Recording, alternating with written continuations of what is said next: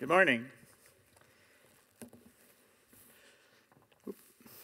So, we're going to talk a little bit about how um, uh, biology has evolved uh, information in a way that uh, maybe information technologies we can learn from.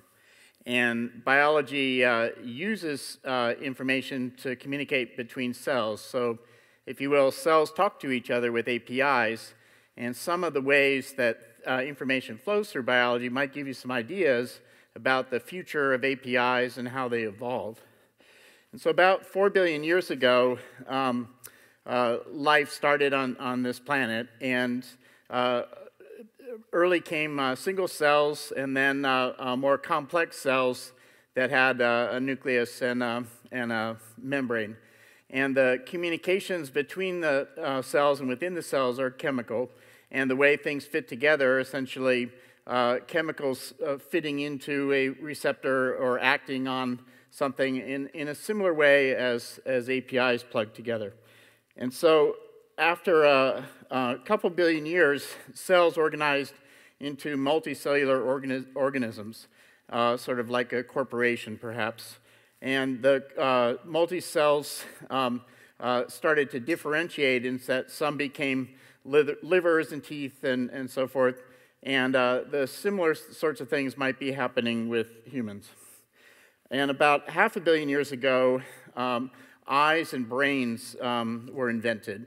And this allowed um, organisms to see each other and make decisions about um, whether something was a predator or prey, uh, and, and it was a way, another channel of communications besides chemical, and that it allowed optical, and it uh, introduced memory, and allowed processing to decide what to do based on what information was there.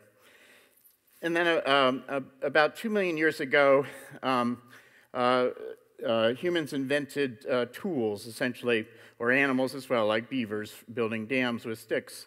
in that tools were something in addition to the biological structure that is the organism, you could pick up, uh, for example, a, a, a, stick or a rock and do things uh, to your environment that uh, uh couldn't be done with your bare hands. And then uh, an important innovation um, uh, around that time was the invention of grandmothers. And grandmothers are pretty unique to human species in that uh, most species, the um, uh, individuals remain fertile uh, until they die. And uh, grandmothers uh, are essentially mothers that uh, live for at least a whole nother generation. And it's an introduction of memory across time and the ability of the, um, the previous generation to help their offspring and their offspring's offspring to survive. And so this was beneficial to uh, selection uh, and the survival of, of, a, of a gene line and uh, an important evolution that is not really in other primates and not in, in most other animals. And uh, the next uh, important innovation that, that came with uh, humans was control of fire, in that fire is a naturally occurring phenomenon, but the ability to control it, the ability to start it, the ability to carry it across time, were important uh, evolutionary steps that allowed cooking food, which allowed uh, higher nutritional value uh, and uh, eliminating parasites by cooking, um, and improved the survival of, of uh, humans. And an extension of that is essentially electricity, which allowed um, the um, lighting and heating and communication, such as the internet, and is, is a, an extremely controlled version of fire, if you will. Um, and it's something that was done in real time until essentially batteries were invented. But it's, a, um, it's another tool that has led to the uh, extension of the species and the Industrial Revolution and the internet and, and other important developments that have uh, brought us more or less where we are today. And Sundar Pichai, who's the current CEO of Google, says the next evolutionary um, uh, development for humans that may be as important as either fire or electricity is AI, which is essentially uh, electricity with memory and learning. And so, the, like the uh, brain evolving in biology, This is a brain evolving uh, in information systems, um, and it's, uh, it's, something will have a, a, big impact on the way society functions and organizes on a going forward basis. And so cells um, have a, an immune system. So inside a cell, there are um, uh, um, memory um, uh, things that recognize when a cell's been in, invaded by a virus, for example. And the um, um, memory uh, can see the pieces of virus that it has seen before uh, and remember uh, to recognize them and know to chop them up uh, if they are being attacked again. And the, this is where the um, biochemical mechanism called CRISPR has come from. It is the immune system and the memory from cells, and it can be used to recognize pieces of DNA, chop them up, and, and reassemble them in different ways. And that uh, is being used for modifying the genetics of, of plants and animals and, and humans, even. Uh, and that recently uh, CRISPR has been used to, to create designer babies in China, uh, or human babies, that is, and it's also being used for many other applications but its origin is essentially the memory and the immune system from cells.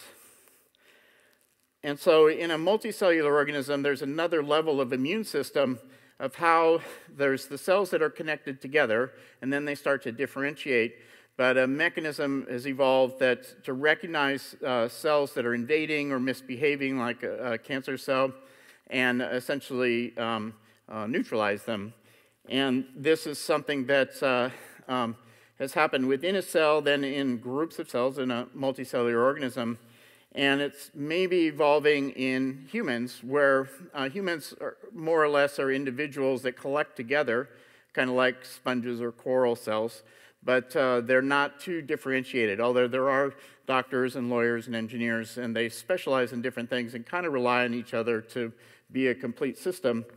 And there's an immune system for society and cultures that have evolved, essentially the police and the laws and, and so forth. And this is a, uh, a mechanism that um, the uh, conduct of, of individuals is somewhat controlled uh, to keep the overall organism surviving. And so, the, as you apply AI to this immune system that is controlling uh, the cells in a society or the individuals, uh, that you're recognizing individual um, behaviors and conduct and deciding whether or not to allow that uh, to continue or to in some way neutralize it. And what's evolved in society is kind of a, a police system and a judicial system and an appeal system so that there's essentially a, a way to uh, uh, respond if you feel you're being mistreated and, uh, and society agrees this is a good thing. But as the uh, uh, edges of this system become smarter and more automated and, and more lethal, uh, for example, the, the police will shoot somebody who's shooting the population uh, without a trial or a jury or, or such things. So it's uh, a distributed, decentralized control system that has uh, effects that maybe um, would be uncomfortable for people to, to acknowledge that, that this is happening. And so there's other ways that uh, APIs and, and in this case blockchains uh, are a lot like biology or the information that flows um, uh, through the system and, and between elements of the system. And that blockchains um, are something that's evolved relatively recently in the last 10 years or so as, uh, as an extension to internet protocols that were sort of left out of the early internet protocols that uh, because of uh, resource constraints, and that it introduces an element of trust from which you can uh, do money um, and uh, creates a, a, API protocol for what is the truth, and not the objective truth, but at least the truth that the different parties who are conducting a transaction agreed upon at the time. And then that's recorded into, into a ledger that uh, is, can be trusted over time as to, well, at least what did people agree on. And so there's uh, something like this was uh, evolved about 500 years ago, which is double entry accounting, where uh, the debits and the credits of, of you are recorded, and if the uh, totals of all of your um, debits don't add up to the total of all of your credits, odds are there's a mistake, and you need to go back and check where that mistake is. and then the parties can transact with more trust that there's kind of double, triple error checking uh, as to what is the flow of money, what is the accounting of it, and so forth. And the addition of blockchain to that is essentially triple entry accounting, where you still have the double entry accounting of my accounting, your accounting, and then we both agree to write our um, opinion of the transaction into a blockchain that uh, is uh, persistent over time in a, in a trusted, immutable way. And so you essentially get a higher level of fidelity and a higher level of trust of the information flow between individuals or, or entities. And so this triple entry accounting ledger is essentially the truth. And it might be public, like a public blockchain, or it might be private, uh, that's just between the parties. Um, and, but in either case, it's, a, uh, it's an objective measure of the truth of the parties involved across time that is immutable. And uh, uh, more than 20 years ago, um, uh, this type of thing, a, a cryptographic hashtag um, mechanism of keeping track of uh, agreements, uh, was uh, already a commercial product, in, in that a company, Surety, would keep track of all of the transactions for a week if you registered for the system. They would take all those transactions and uh, uh, reduce it into a hashtag, and they would publish the hashtag in the lost and found section of the New York Times newspaper, which prints millions of newspapers. And they would do this every week. And so, if any modification to any of the pixels in any of the transactions of that week were changed, the hashtag, the new hashtag would be different than the one that was published. So you can go back and look and say, well, are these consistent? And you can use that as a mechanism to say, well, this uh, transaction we did three years ago or 10 years ago uh, has uh, changed or is consistent with what was agreed on at the time. And so the interesting thing about um, that hashtag mechanism in the printed paper newspapers uh, is that in Satoshi Nakamoto's white paper about uh, the design of Bitcoin, um, uh, three of the eight um, references that he cites are actually citing surety in the way that that uh, hashtag mechanism works. And so it's kind of, uh, uh Bitcoin's blockchain is derivative of, of that uh, technique. And there's other examples from history of how uh, cryptography and, and other things to keep track of data and its immutability have evolved. And so information um, takes energy to, to replicate. And uh, in biology, information across generations is stored in DNA. And so a, a human genome, uh, like my genome, uh, in, a, in computer format is, is about one and a half gigabytes in size. It's three billion uh, base pairs of DNA letters that uh, are replicated from generation to generation. And this is the code, the biochemical code of, of what is an individual, whether it's a human or other species. And uh, uh, Bitcoin's blockchain is already 150 gigabytes in size, substantially bigger than a human genome, and uh, increasing in size at an exponential pace. And one of the differences uh, is that um, uh, a blockchain uh, saves all of the information about every transaction and replicates it every time. And so this is increasing in size and will continue to. And a new block is written roughly every 10 minutes. And if it takes longer than that, the algorithm gets easier um, to speed it up. And if it goes faster than that, the algorithm gets harder to slow it down.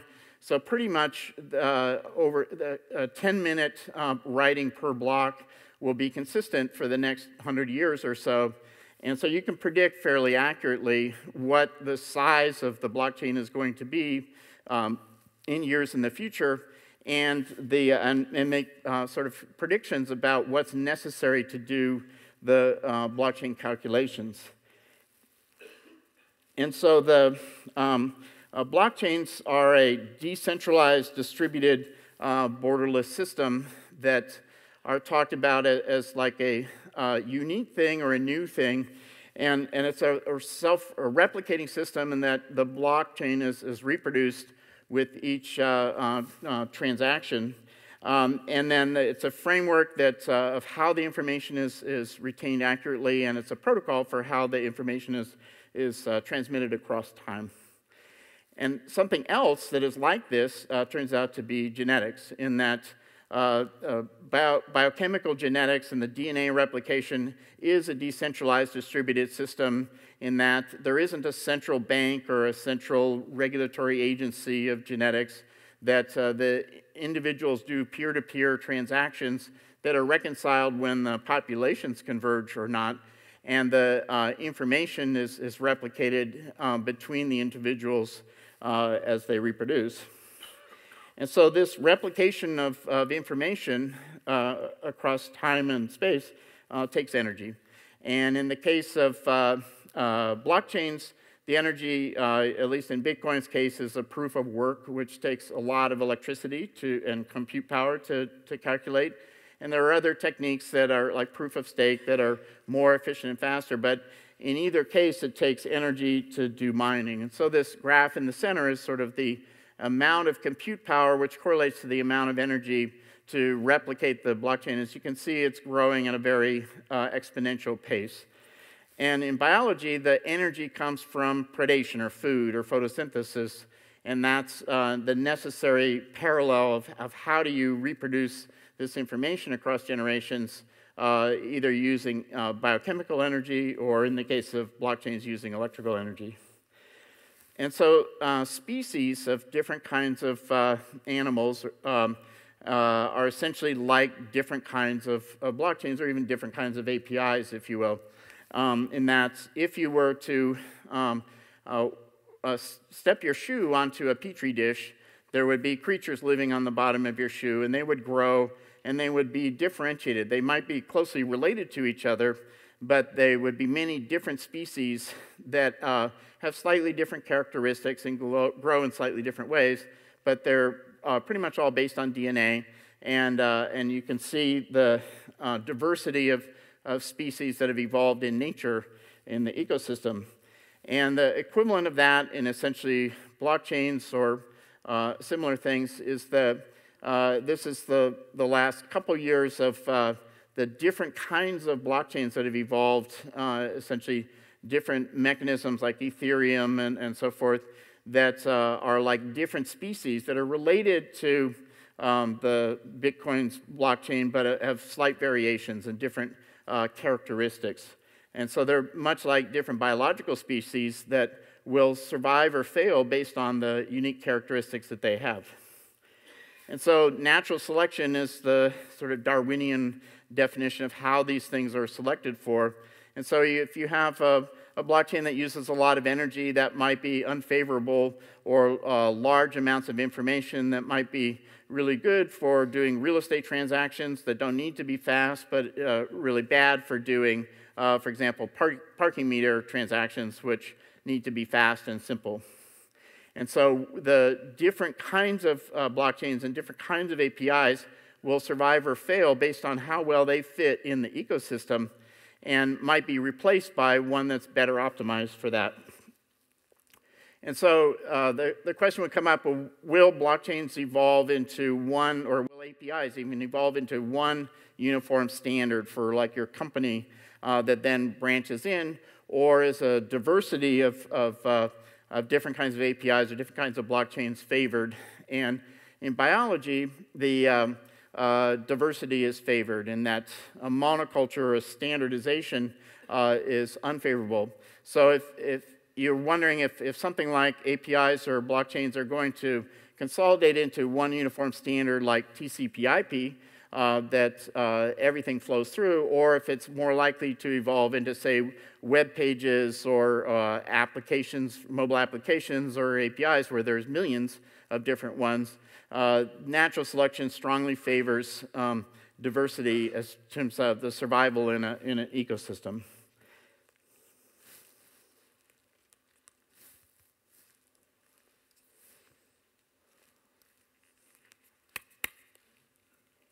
Next slide. Um, and so monoculture is, is where all of the uh, different organisms are, standardized in one uh, uh, common format. So, for example, uh, um, in Ireland uh, at, at one time, all of the potatoes in the whole country were clones of each other. And, uh, and what happened is a parasite evolved that wiped out that particular genetic sequence of organism. uh, and it, it wiped out all of the living potatoes in the whole country at one time where in most countries there's a diversity of, of, that and it's more stable, where you might lose some of your APIs, but not all of them. Next slide. Next slide.